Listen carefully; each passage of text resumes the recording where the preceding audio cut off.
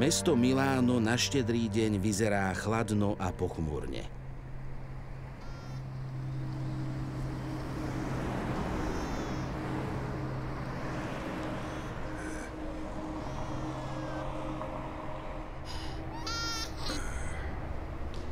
Bezdomovci Lily a Anibal nájdu na skládke dieťa.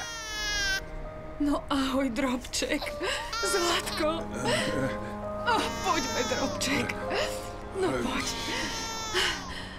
O Bože.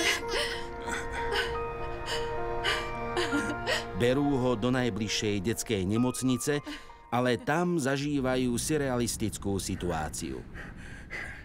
Kašlete na malé dieťa. Naše zdravotníctvo. Upokojte sa, dobre? Hej. O akom dieťati hovoríte? Majú nás za hlupákov. Žiaden z lekárov ani zdravotných sestier dieťa nevidí. Lily a Anibal sa nevzdávajú. Snažia sa trvať na svojom, ale nakoniec sú nútení opustiť nemocnicu. Čoskoro však zistia, že niektorí ľudia dieťa vidia a iní nie.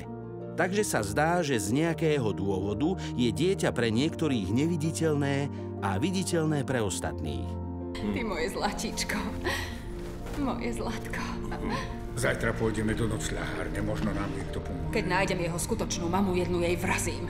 Ty nie si len také obyčajné dieťa. Rube. Mimoriadna udalosť sa rýchlo šíri a čoskoro začnú o nej hovoriť novinári a médiá. Čo je to tu? Krajina čudákov? Potadiaľ to. Kde je to dieťa? Nikde ho nevidím.